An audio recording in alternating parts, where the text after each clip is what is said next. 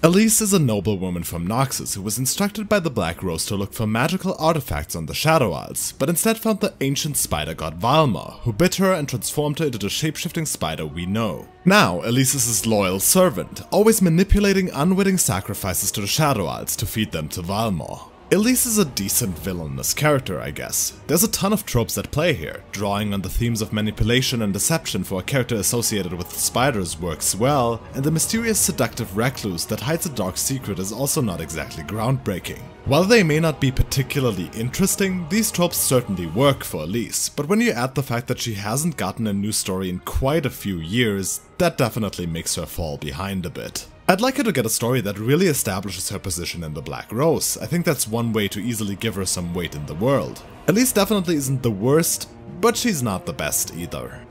Subscribe to this channel for more shorts and detailed full-length analyses.